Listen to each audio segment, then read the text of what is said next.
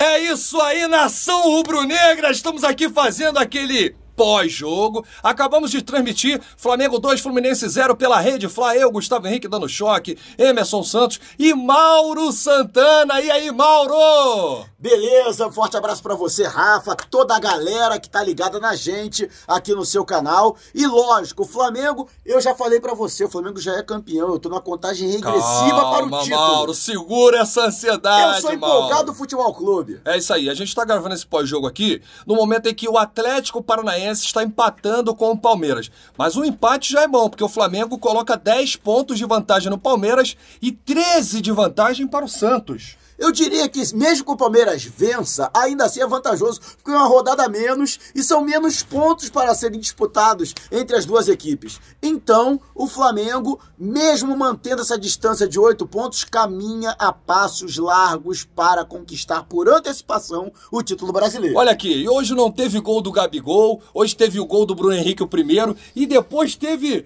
do Pantera Negra, o Joker, o Coringa. É! Emerson Santos teve gol do Gerson, teve lei do ex, Emerson. Teve lei do ex, primeiro, Mauro Santana, grande parceiro aqui das transmissões, nosso Rafa, Gustavo Henrique também, toda essa galera ligada. Teve lei do ex, Rafa. Gerson, bem no segundo tempo, e o Megão, bom demais, 2 a 0 Nesse momento, né, a gente acompanha também aqui o jogo do Palmeiras e Atlético. 1 a 1 se permanecer empate, o Flamengo fica 10 pontos. Se o Atlético vencer, 11 o Mauro falou que o Mengão é campeão e eu tô nessa. Hashtag Mengão é campeão. eu tô indo embora, Rafa. Eu tô indo embora. Tô indo Calma, embora. valeu, Emerson. Um grande Quarta-feira tem transmissão, né? Obrigado aí por mais um show de transmissão na Rede. Fla. A Rede Fla que tá invicta ainda, invicta, né? não perde. São 10 jogos e não sabe o que é derrota desde quando foi criada a Rede Fla, nosso canal de transmissão. Nós juntamos aí as quatro feras aí do YouTube, o Emerson Santos, que também tem canal, o Mauro Santana, que tem canal, Gustavo Henrique dando choque, e aí com. Não é uma dobradinha, é um quarteto. Quarteto E fantástico. aí o Flamengo não perde mais. Fica tranquilo. Olha aqui, eu também acredito muito no, no título do Flamengo, mas pela minha matemática, Mauro e Emerson, faltam cinco vitórias. Estou errado, Mauro? É, pra mim são cinco vitórias também.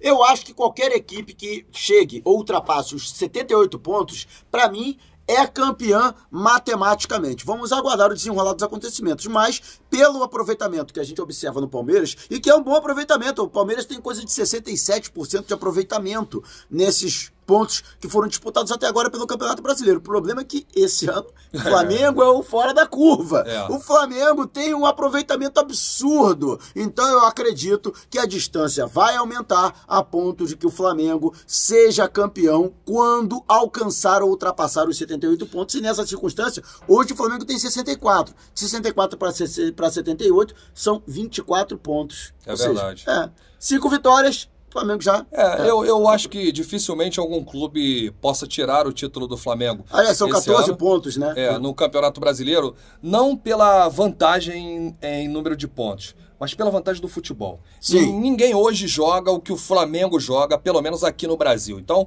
é claro, com o pé no chão, sem soberba, é, a torcida pode fazer aí a questão do segue o líder, pode comemorar já o título com várias rodadas Eu tô comemorando já. É, mas aqui no meu papel eu, eu freio a expectativa, fico com o pé no chão, mas eu também não acredito que algum clube possa tirar essa desvantagem é, no nível do futebol que o Flamengo está apresentando. né? Ninguém tá jogando o que o Flamengo tá Ô, jogando. Mauro, é impressionante. Vários desfalques que o Jorge Jesus tem aí na- nessa caminhada, né? Que é a procissão do Campeonato Brasileiro, por cartão amarelo, né? Por lesão. E o Jorge Jesus é um cara que se reinventa. É o primeiro Fla-Flu da vida dele e já é considerado aí o mister dos clássicos, porque ele venceu o Vasco por 4 a 1 em Brasília, venceu o Botafogo por 3 a 2 e agora venceu o Fluminense por 2 a 0 Então ele pode dar a mão pro Bruno Henrique, que é considerado o carrasco dos adversários cariocas, e aí o mister Jorge Jesus, que no hino, nos Fla-Flus, é o Ai Jesus, que ele não entende, mas com certeza é coisa boa. Ele, ele imagina que é uma coisa boa,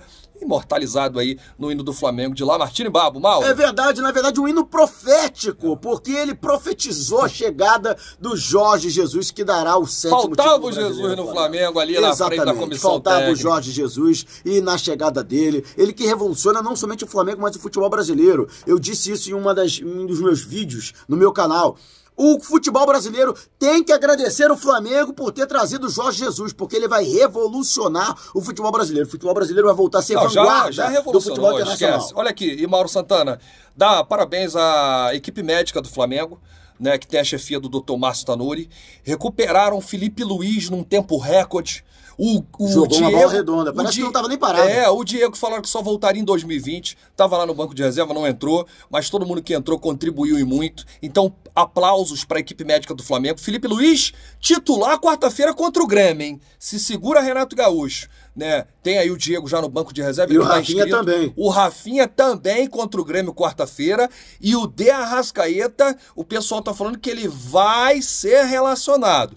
Existe uma diferença de ir pro jogo ser titular e ser relacionado, estar ali Exatamente. para compor o banco de reservas, né? Num lance, numa jogada do segundo tempo, pode ser utilizado o De Arrascaeta. Mas a equipe médica vem fazendo milagre, né? No, no, no trabalho ali, né? Do DM do Flamengo, que teve também elogios do Jorge Jesus. E o Felipe Luiz, com muito tempo parado, jogou uma bola redonda hoje, hein, ô Mauro? Ih, que falar do Rodinei, cara? Ah, o Rodinei Rodinei, teve o, nome, teve o nome gritado pela torcida, Jorge Jesus transformando os jogadores do Flamengo. É por isso que eu vejo muita gente, às vezes, criticando o Diego. Pô, o Diego voltando, o Lincoln voltando. Gente, eles não tiveram muito contato com o Jorge Jesus. Quando o Jorge Jesus, chegou, eles se lesionaram. Então o Jorge. Jesus ele transformou vários jogadores do Flamengo. Vitinho né? tá jogando bola, cara. Casos do Vitinho, o Ilharão e agora o Rodinei, que surpreendeu muitos torcedores do Flamengo que estavam no Maraca, Mauro. É verdade, o Rodinei que deu passe para o primeiro gol da partida do Bruno Henrique. Inclusive foi um cruzamento certeiro, que a gente há muito tempo não via.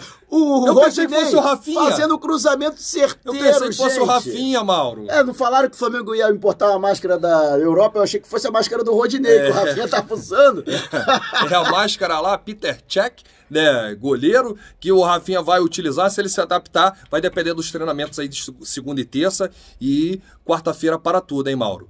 Um jogo verdade. mais importante do Flamengo em várias décadas. É o jogo do século. É. Eu venho dizendo isso. É o jogo do século para o Flamengo. Não é o jogo do ano de 2019, não. É o jogo do século 21. É, o jogo do novo milênio para o Flamengo. Nenhum outro jogo desde 2000, desde o ano 2000, foi É. tão importante para o Flamengo quanto será esse de quarta-feira. E digo, o Flamengo vai se classificar. O Flamengo vai ganhar e vai passar. Sério? Vai. Com e essa inclusive, confiança? placar. 2 a 0 Olha, Flamengo. Mauro, eu acho que 1x0 é goleada. Eu Meio acho... a zero é goleada. O meu placar é 1x0 Flamengo diante do Grêmio. Agora o Renato tá com a pulga atrás da orelha. Falou que não vai revelar a escalação, porque tem um mistério por parte do Flamengo. E o Grêmio, que já está no Rio de Janeiro concentrado, vai treinar segunda e terça no CT do Fluminense. Os caras tomaram uma cipuada do Fortaleza, tudo bem, jogando com a equipe reserva, pouparam os jogadores com medo, com cagaço do Flamengo É, na é quarta-feira. essa. Olha só, se o Flamengo já jogou com aquela autoridade toda lá na Arena do Grêmio, lá em Porto Alegre, imagina o que o Flamengo não vai fazer no Maracanã e diante de sua torcida, todos os ingressos já esgotados, o Flamengo vai jogar diante de 70 mil torcedores. Gente, o Renato Gaúcho pode fazer mistério, pode botar o time que ele quiser, ele pode botar o time de 83, que foi campeão do mundo, e vai perder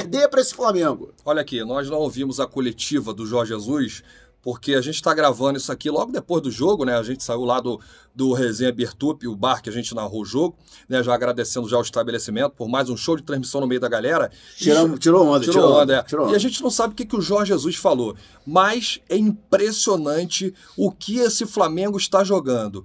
Vários jogos de invencibilidade, várias vitórias seguidas. 16 jogos já O invicto. Flamengo tá dando aula de futebol, hein, Mauro? E pode chegar ao recorde do Flamengo nos pontos corridos, se não me engano, são 17 vitórias. Verdade. No jogo no, na temporada de 2011.